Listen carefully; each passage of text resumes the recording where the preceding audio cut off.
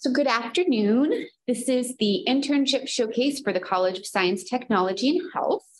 My name is Whitney Duchesne, and I'm a career liaison in the Career and Employment Hub. Now we'll have the students introduce themselves, their name, their major, and where they did their internship. Um, hi, everyone. I am Montana Kalian. I did my, well, I'm a social and behavioral sciences major. Um, I'm doing, currently doing my internship with a software company here in Portland called Cloud Immersive. Um, but I'm doing an HR recruiting internship, not a software internship. Hi, I'm Michelle Karam. I'm a human biology major here, and I did do a year-long internship at Maine Medical Center Research Institute, which is now Maine Health Institute for Research, um, and I'm currently a student employee there. Uh, my name is Jackson Reed Elwell. I'm a fourth year electrical engineering student. I did my internship uh, this past spring and summer at the NASA Langley Research Center down in Hampton, Virginia. I'm Connor Mayhew. I'm a senior IT student. I did my internship at Sappi. Great. Thanks so much. Um, so I've got some questions that I would ask all four of you to answer. And then, you know, hopefully we've got an audience and we might have some time for questions after from uh, students as well. So how did your internship relate to your major or program? Um, well, I started in the social and behavioral sciences program because I was interested in public health. So I was originally looking for public health internships, and then my interest meandered into HR. So I was looking for public health HR internships, like maybe in a hospital or something. Um, but in order to find an internship, I applied to multiple different ones. Um, and so the one I ended up really becoming interested in was this small internship with the software company. So it doesn't really relate very specifically at all. It's this nice meandering circle of how I ended up here. Um, but a lot of the psychology and sociology information that I'm learning in my program relates in a circuitous way to the human interaction elements that I have as a recruiter. Perfect. um, so I work in a research lab. I'm currently a student and I'm hoping to go to medical school. So it is different, but still in the sciences. The reason I started looking for research experience is because one, medical school is very competitive. So I need all that extra experience. And also, I don't necessarily know that that is exactly what I want to go into until I am in it. So I wanted to look at all my other options. So Dr. Dave Champlin, who's a professor here, actually really assisted me in getting an internship at MMCRI, which was fantastic. And he helped me go through different labs and see which one I thought would be a great fit in. I definitely wanted to look at one that seemed to have a bit more clinical relations, um, just because I do have that medical school um, on my horizon. So I ended up being in a lab that studies multiple myeloma, which is a cancer. So we uh, look at, we do a bunch of cancer studies all the time looking for different treatments. And we also have data coming in from the hospital and get to work with some bone marrow from patients since it's a blood cancer that grows in bone. So I think it's really cool. Um, definitely has opened my view to different aspects of science. So I uh, found the so the federal government, they have something called the Pathways Program, and it's for different government organizations. And what they'll do is they'll pay you to work at uh, you know, whatever government organization you, you applied for. Uh, the application opens in the fall and the uh, NASA organization has their own uh, pathways department. And what they do is they, you, you apply to the program and you specify what your major is and they uh, give your resume to the different NASA departments that are interested in a pathways intern and they review your resume and reach out to you if they're interested in your application. Uh, my department, which was the electromagnetics and sensors branch, was specifically looking for an electrical engineer uh, to do their pathways rotation that spring and summer. Uh, luckily, uh, that was you know related to my major. Um, I just knew I wanted to do something technical, and my major is kind of like a broad umbrella term. A lot of internships fall into it. Um, Uh, I specifically worked in a help desk, um, so if something broke, I'd have to fix it. Um, so I heard that in my freshman year that working in a help desk is a good way to get started in the industry because it gives you a lot of uh, good experience. So that's also what I wanted to do. So awesome. Thank you.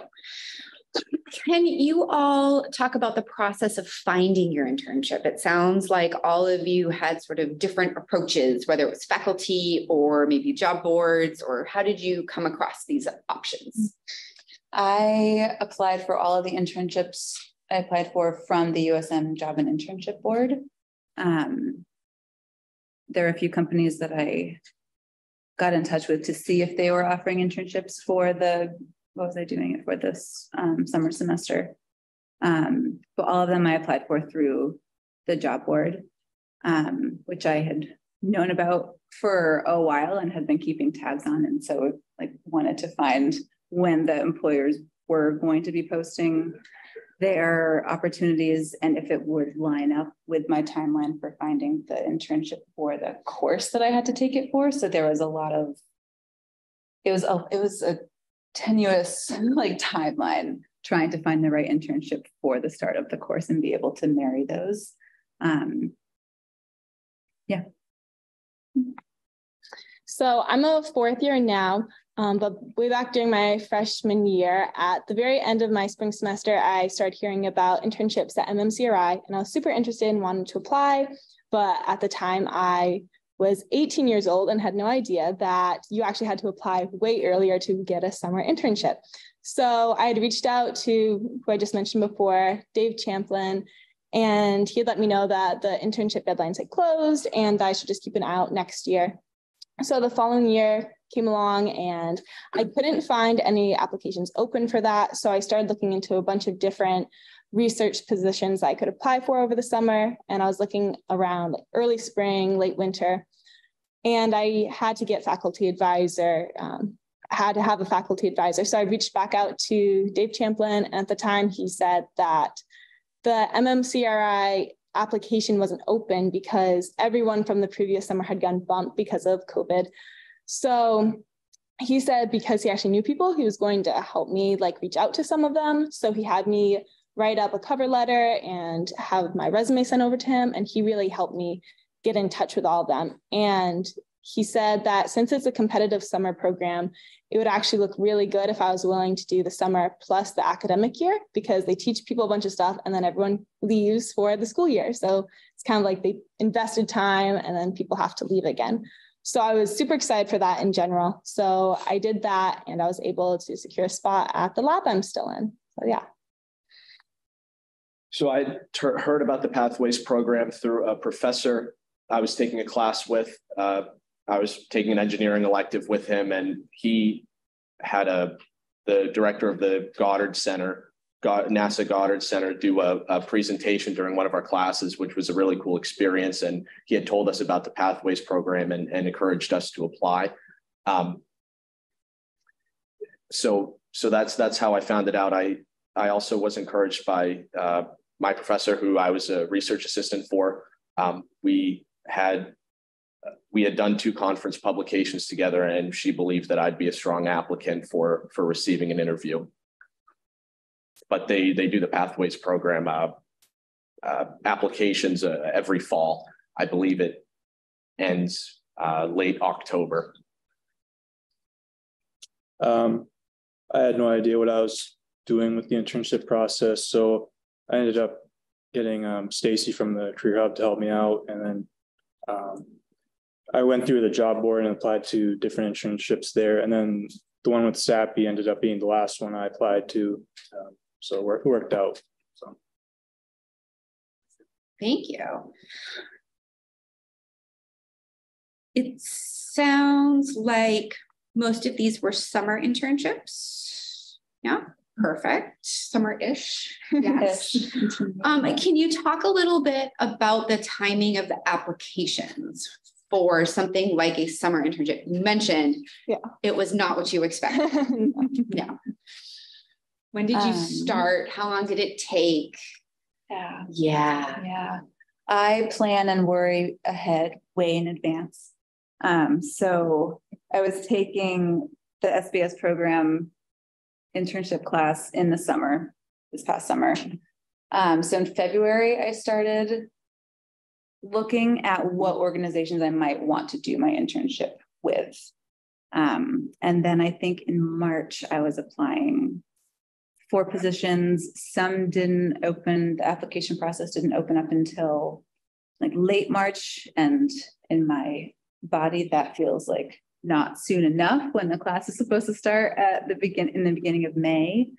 Um, so I was applying for positions from like beginning, middle of March, all the way through probably um, beginning of April. And then, like um, Connor just said, the last position I applied for, what's the one that actually ended up working out? Um, but I was still, they brought me on board about a month before I actually needed to start. And then I started the internship about a week before the class started. So everything was in place. Um, and it was not a very stressful time once everything was in place, but leading up to that, it was like, it's like white knuckling, deep breathing, trying to, trying to figure everything out. Um, but it was a, quick, a pretty quick process once I applied and they got back to me the next day and we had an interview the following week. They had me do an assignment um, and then we did a second interview and um, the offer call was the next day. So it was probably about a two week, two and a half week process once they actually received my application and everything got underway. Um, for me, when I applied, I believe I started my application process in February, and then so really early considering I started in June.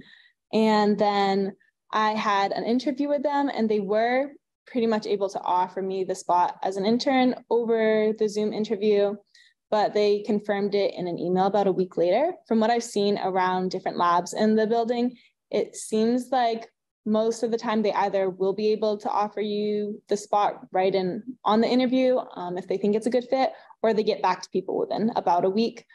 So that was great. I think the thing that took the most time was um, at the end of April, they sent me out a list of all the vaccinations I had to be up to date for and have sent in to them. And that took a really, really long time because I was dealing with pharmacists and my old pediatrician and all of that stuff, trying to get people to send in things and it kept getting lost. So that took about three weeks in itself. So that was probably the most difficult part of it, um, of getting to start. But once I did, it was all smooth from there on out. So I, I had applied to the Pathways program uh, mid October. Uh, it took a few weeks for them to get back to me with the the interview times that I was scheduled for. I, I met with a few different departments at uh, different centers. I received my offer letter a few weeks after that, so I, I believe it was about halfway through November. And in my offer letter, they I also had to go through a, a security clearance sort of sort of background checks, and and that took a bit of time to to get the results from that back. Um, I was also required to find an apartment uh, by my start date. I was starting on January 14th, and that didn't leave me a ton of time to find an apartment. Uh, and never having rented an apartment before, it was uh, it, it, was a little strenuous, you know. Uh, but luckily, I'd found one, and the I had moved down uh, in the beginning of January, and I it, it was also weird because of COVID, how how all that worked. I wasn't I I wasn't allowed to go on center until I had gotten uh, fingerprints and, and ID and all that. But my all my meetings were on Teams on like a secure server that I needed a laptop for that I couldn't get because I wasn't allowed on center yet. So uh, there were some difficulties at first, but my supervisor was a big help in helping me get all that coordinated. Um, and after you know all that was figured out, it was it was pretty smooth sailing. Um, I applied in mid March, and then I had one interview, um, and then I got the offer in April, and then after that, I had to um, get them some documents. I also t- had to take a, a, physical exam, and then also take a, a drug test, um, and then and that was it, the whole process. interesting, lots of steps after the offer that were not expected, No. right? Vaccinations, housing, physicals, so, you know, Background checks. onboarding process, all of those things add time to when you can start your internship. So, you know, even though it might happen in the summer and the class starts the beginning of May, all of the lead up with all of these other things that are going to pop up are going to require you to start much, much earlier than than probably expected. Um, what was the your favorite part of your of your internship? What was the best part of the experience? Um, well, it's still ongoing. So I guess one of the best parts is that it wasn't just a quick two and a half month, three month internship, and then all the experience just sat there and I didn't get to build on it. Um, I'm still building on it. This, this will probably become a full-time position. So it'll, it's really a growth process. Um, and the way that Cloud Immersive does internships is the interns are very hands-on, very much, this is your role within the company, not just stuck at a desk somewhere and we don't really quite know what to do with you. So we'll just, we'll check in every once in a while and see how things are going. Um, I can see the direct impact that I have on a day-to-day basis and I can see my contributions to the team and feedback from the team. And that's really satisfying. It's it's much more satisfying than I thought it would be because I'm playing such an integral role to the team. I think I'm still working at MMCRI at the moment. I think it is called MHIR now, but I just prefer to say MMCRI. It's a recent name change and I don't like saying MER. Um, so I'm still working there, but going back to when I started, I think some of my favorite things was when I started to become independent because it was a gradual thing that I didn't even really notice. And then suddenly I'd be doing experiments by myself that spanned a couple days time and I just know how to do everything. And I'd also know how to start troubleshooting it. So I'd go to my mentor, not with a bunch of small questions, but I'd be able to go up and ask her questions if my troubleshooting methods were making sense. Um, and that was really cool to just start getting that independence because it did happen a lot quicker than I would have thought. You know, for doing experiments where I'm working with cells and dishes or um, where this lab I'm in actually works with mice, so I could handle mice independently and know how to treat them ethically. And I think that was just a really cool realization that happened about three months into my internship.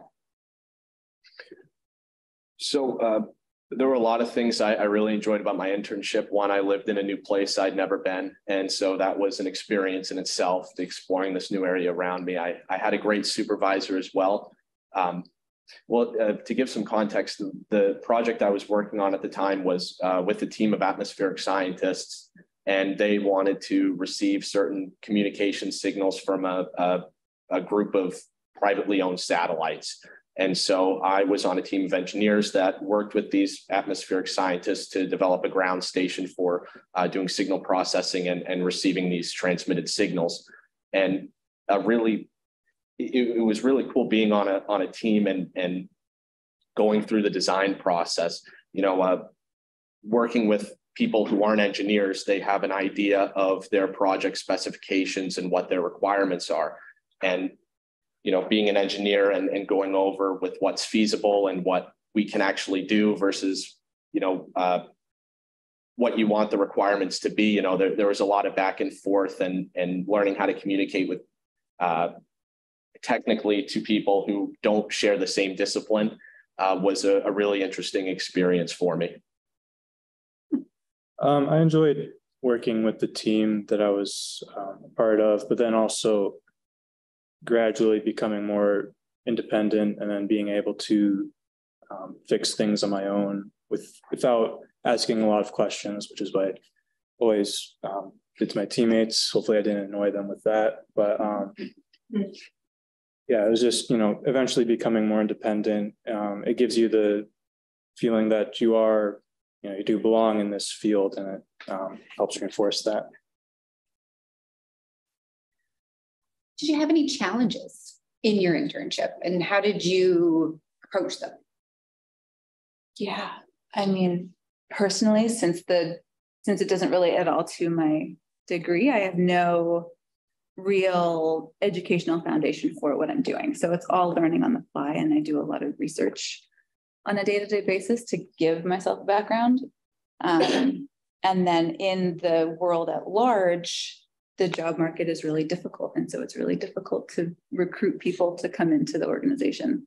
Um, and we're such a small company that we don't we don't have like an established talent pipeline. We don't have really established relationships yet because we are relatively new to Maine. So there's not a lot of resources in place to pull from. I'm the one putting those resources in place. Um, so it's a huge learning curve as well as recruiting for employment in the current job market. So it, yeah, it's it's a challenge period, but it's mm-hmm. but it's rewarding all the same still. I've had a couple challenges with mine. I think I've done plenty of science classes from all of my education, but going into a line of research where there aren't actual answers is a very different mindset because you go in mm-hmm. and when something doesn't go wrong, there's no one there to say, oh, I know what it was. People can only go, let's try and figure something out and redo it. So it can take a long time. I know there have been times that I've done a couple months of research and then we realized something was going wrong maybe not on my end but just with how stuff is working and so we have to start troubleshooting months of research and this has happened for many people throughout the lab i think it just really changes your mindset to start looking at what who like what is failure it's like that's not failure on your end it's just the way science is and i think that applies to a lot of people's different work um, and I also know the things I'm working with are really expensive, and that can be kind of nerve wracking, especially for someone coming in and thinking, wow, I'm using this small vial and it's worth $400. It's really pricey. And mistakes still happen because we're all people. And it doesn't just happen to me, it happens to other people. And it's really nerve wracking um, to go forward and especially to even own up to a mistake where you go, I did this in the wrong order or I did something here, but it happens. I know um, one of the smaller mistakes I made that was just based off communication where I was transferring something off to someone else and we didn't have it written down. I had said it and it was a verbal confirmation and it got messed up. I know I was super nervous about it, but when my boss asked me about it, I was like, I'm so sorry. This is my part in it. And yeah, this happened. And the very next day, she actually sent me an email saying, I appreciate your honesty so much.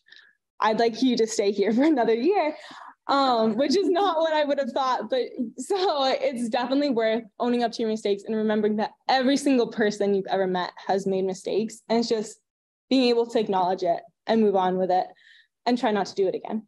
So, yeah. One of the biggest challenges for me was the project I was working on. I hadn't gone over in my coursework very much. It, it related to some upper level courses I hadn't taken yet. And so I spent a lot of time studying uh, I thought I could get away for, from school for a semester and I couldn't. Uh, and so there, I, I spent a great amount of time uh, learning. You know, my my supervisor had a, a, ton of textbooks, like they they had like a little library in, in the department I was working for, and I spent a lot of time there um, asking him questions. You know, bouncing ideas and information off one another, and and uh, he, he was I was very lucky to have a supervisor that would allow me to to do that to to try to learn and and he, he tried to point me in the best direction he could. Um, but but that was a big challenge was was learning technical information and the other ones I, I'd mentioned before. Um, I was working with with people who weren't engineers and learning how to communicate engineering topics to people who aren't engineers. And at first, it may seem obvious to me what I'm saying, but you know, if you don't have the same jargon or nomenclature, it can be very difficult at times to communicate what you mean to say.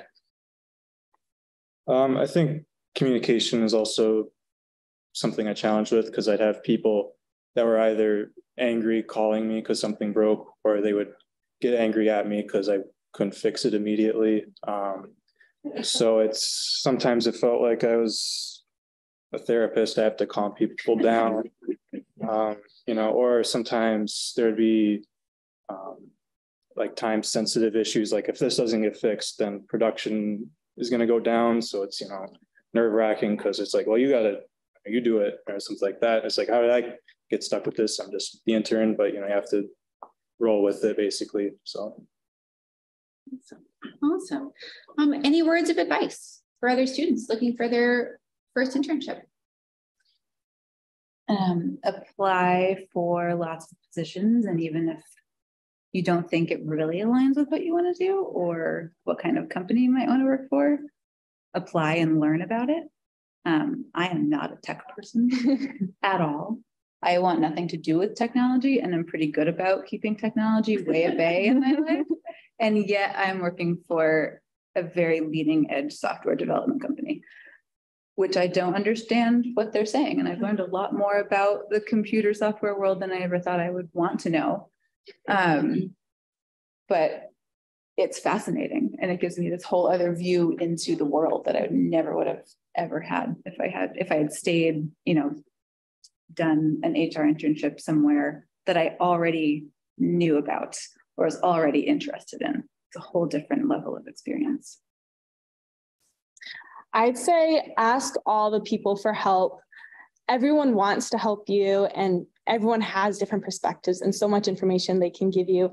I know just from from my perspective, now that I've learned certain things, all I want to do is hear someone else say something and go, "Oh, do this; it'll help you so much." I already troubleshooted it. Don't don't do what I did. And I know that's what so many of my mentors have helped me with and cut me so many steps that I probably would have gone through myself. So just ask. And I think it's also a relief to remember that if you're in a new career or changing careers and going into something, everyone knows you're at the base, the base level. No one expects you to be up here yet. And so everyone is really willing to help you and go the extra mile. And so it's just worth it. Just ask for the help. Uh, definitely utilize the Career and Employment Hub. I've been uh, working on my resume and, and interview skills with uh, Stacy Stewart over there for four years now, and she's she's helped me a lot. Um, I uh, that that's definitely something that helped me a lot in, in getting my internship. The other thing is is something that that was previously mentioned is not worrying so much if you don't know everything when you get there. You know, if you're an an engineer intern, you're not a full-time engineer, you're not being paid like a full-time engineer, and you're not expected to know things like a full-time engineer. Um, and that was something I, I, sort of struggled with was uh, I, would mentioned before that I'd spent a lot of time studying material that I wasn't familiar with. And I kind of felt bad that I didn't already know that. You know, I, I, sort of expected, oh, well, you know, you're in this position, you're working on this project, you should already be familiar with these things. And so that that was a bit of a transition uh, for me. And you know, never always make sure you ask questions. That's that's another one. um, I'd say start your process now because things will go wrong and it it takes a lot more time than expected to actually get an internship.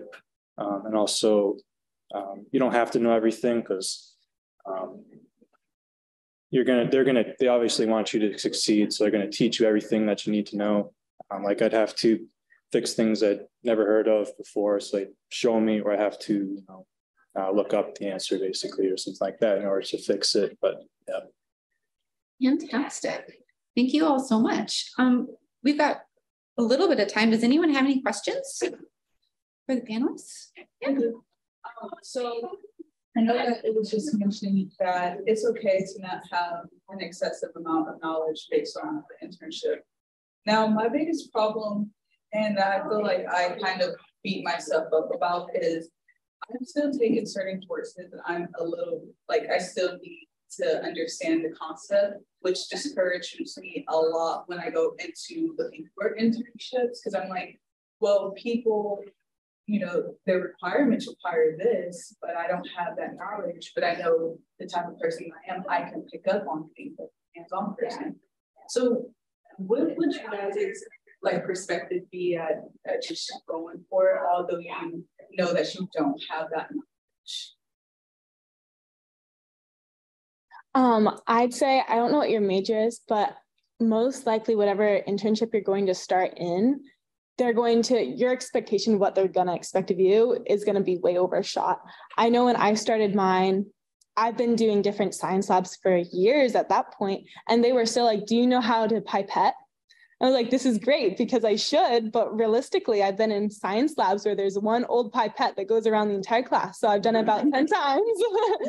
and that's where they start you off. And of course, now if I was like, I don't know how pipette, they'd be like, hmm, well, you've been doing it with us for a year now. but it's so different. And they're going to expect that you've just had science or like um, college education level classes, and you really don't start learning until you're in the workforce. And that's totally okay. So I think no matter what, you're you're gonna overshoot it and it's gonna be a great relief when you start. So just go for it.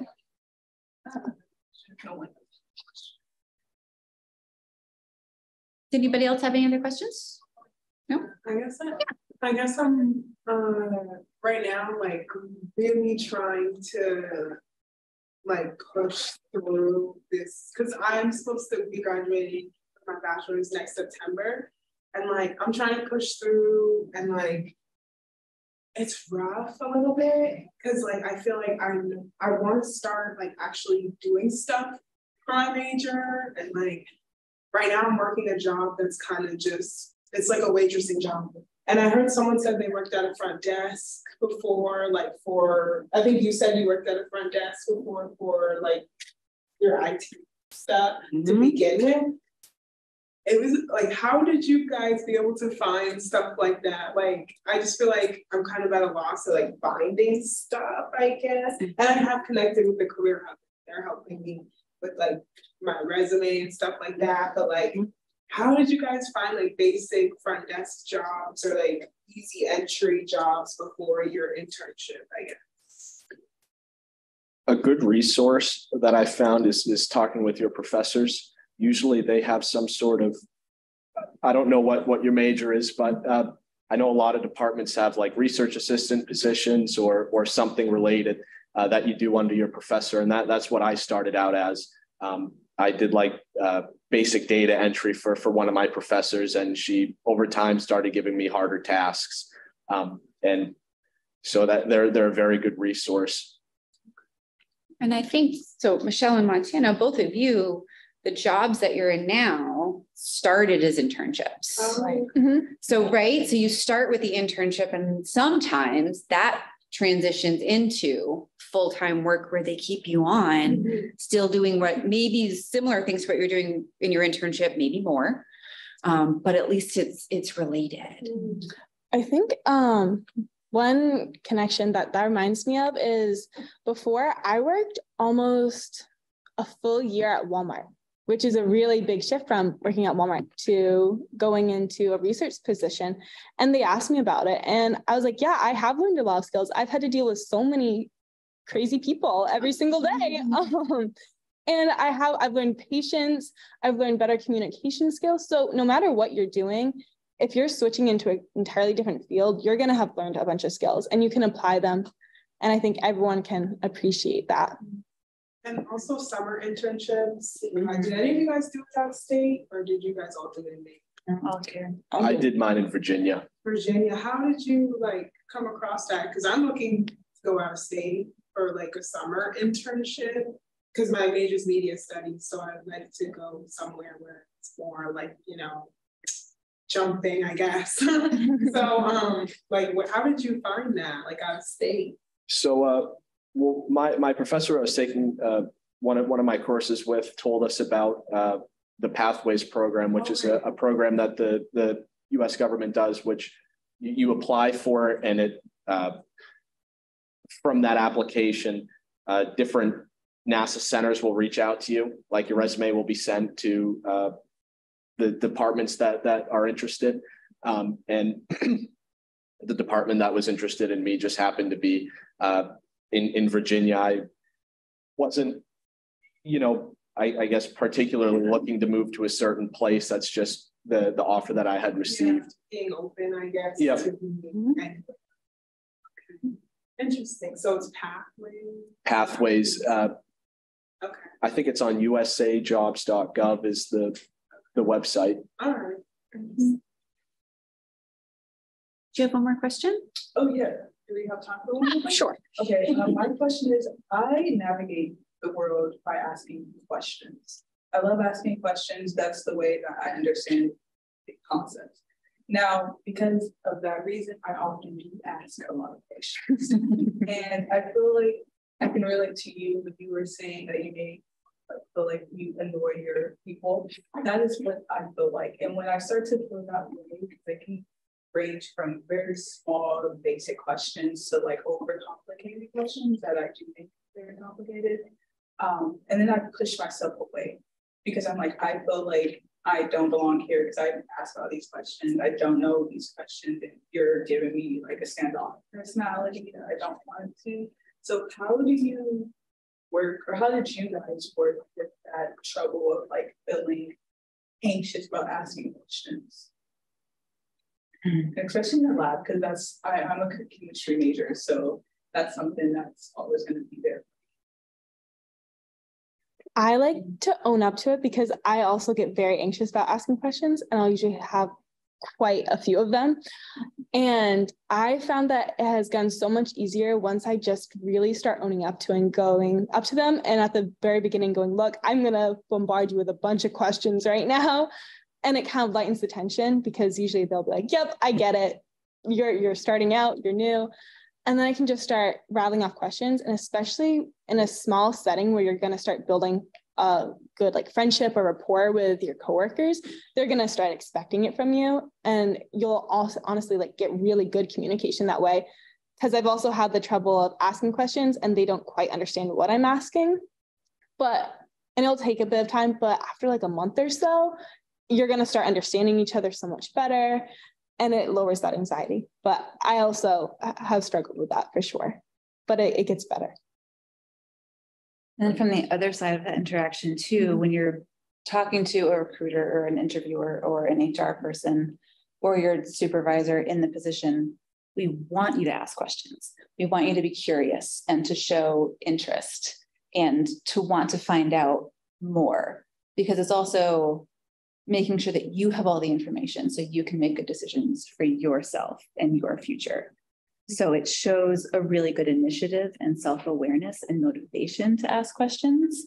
So it's really, it's, don't feel bad about it. Don't feel, I know it's impossible not to feel anxious about it, but it, it gives a really good impression of yourself and your goals when you do ask a lot of questions. Mm-hmm. My major questions are always why yeah. Yeah.